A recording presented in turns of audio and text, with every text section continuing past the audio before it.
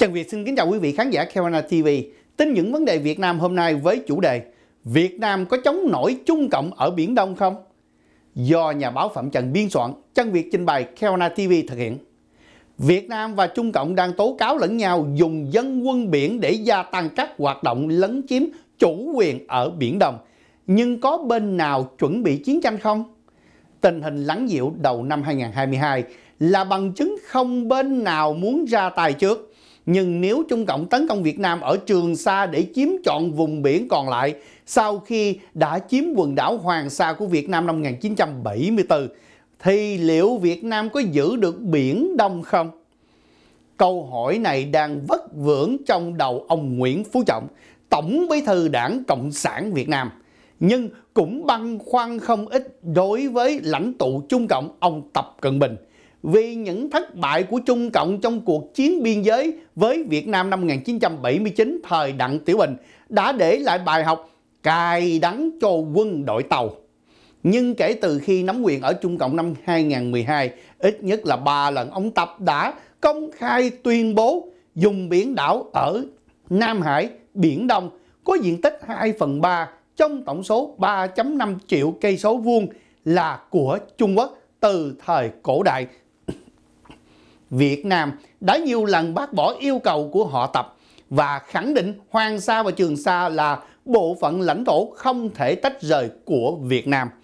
Để bành trướng ảnh hưởng quân sự ở Biển Đông, từ năm 2012, Trung Cộng đã tân tạo 7 vị trí chiếm đóng thành căn cứ quân sự có quân đội chấn giữ và bến cảng cho tàu neo đậu. Ngoài ra, Trung Cộng cũng mở rộng các đảo Chữ Thập, Vành Khăn và Subi và xây ở đó ba sân bay có khả năng cho máy bay quân sự và dân sự sử dụng. Cả ba sân bay đều nằm ở hướng đông nam Vũng Tàu và đe dọa trực tiếp đến quân Việt Nam đồn trú ở Trường Sa. Việt Nam cũng thiết lập được một sân bay ở đảo Trường Sa lớn, nằm cách Cam Ranh khoảng 254 hải lý, tức 470,4 km, và cách Vũng Tàu là 500 km theo đường biển. Trương Sa lớn là đảo to thứ 4 sau Bến Lạc, Thị Tứ và Ba Đình thuộc quần đảo Hoàng Trường Sa. Trước hết, trước thế yếu của Việt Nam, Trung Cộng đã mở rộng quyền kiểm soát Biển Đông không bằng chiến thuật đánh lớn mà sử dụng lực lượng tính lính áo xanh hay dân quân biển xâm nhập vào biển của nước khác để gây tranh chấp rồi chiếm đóng. Theo nghiên cứu của các tổ chức quốc tế về Biển Đông thì đội quân này là những cựu chiến binh Trung Quốc được huấn luyện đánh bắt hải sản. Họ được vũ trang để đóng vai ngư dân chống các thuyền đánh cá nước lân bàn, đồng thời chống cự lại các lực lượng cảnh sát biển và kiểm ngư của Việt Nam và các nước khác.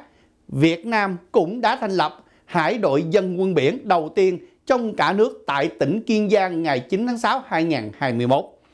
Không rõ loại vũ khí nào được trang bị cho dân quân biển, nhưng tại Thanh Hóa, đơn vị này đã được tập bắn súng AK-47 song song với huấn luyện phương pháp ngăn chặn các phương tiện xâm phạm chủ quyền biển đảo, một số hình thức cứu hộ, cứu nạn trên biển, kỹ năng tuyên truyền cho ngư dân về biển, đảo Việt Nam phát hiện các xác định vị trí và cách thông báo, báo cáo các phương tiện bị nạn huấn luyện võ thuật, huấn luyện bắn súng mục tiêu trên biển, vân vân.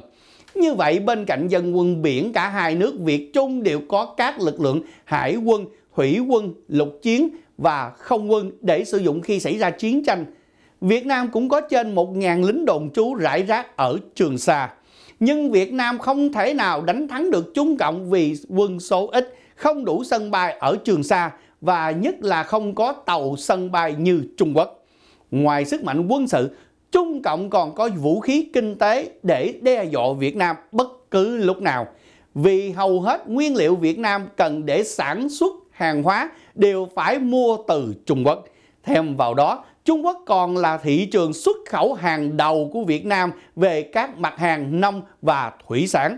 Do đó, bất kỳ sự xúc mích chính trị hay quân sự nào giữa hai nước cũng sẽ là gánh nặng kinh tế cho Việt Nam.